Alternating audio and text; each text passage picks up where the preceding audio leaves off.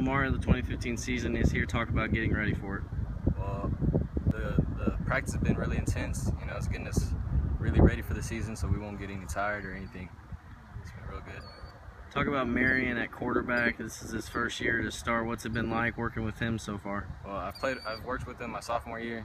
He has a lot of talent. You know, he's real fast, accurate, throwing the ball. He's a real good quarterback. He executes everything.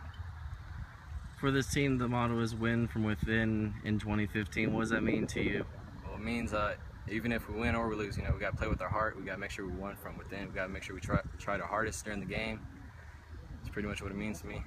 Every year, Humble's gotten closer and closer to the playoffs. Five and five last year on the outside looking in. How do y'all get over that hump to get in this year? We just gotta stay very humble, you know, not don't walk around with big heads, don't stay cocky, you know, just make sure we win the next game and try our hardest.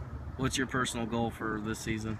Mine's to make it to state championship, you know, that's my, my dream since I was a freshman here. And finally, uh, what does this team need to do to be successful this year and get to the playoffs? We gotta work as a family, you know, work as a team, face adversity, just make sure we set our goal and make our goal.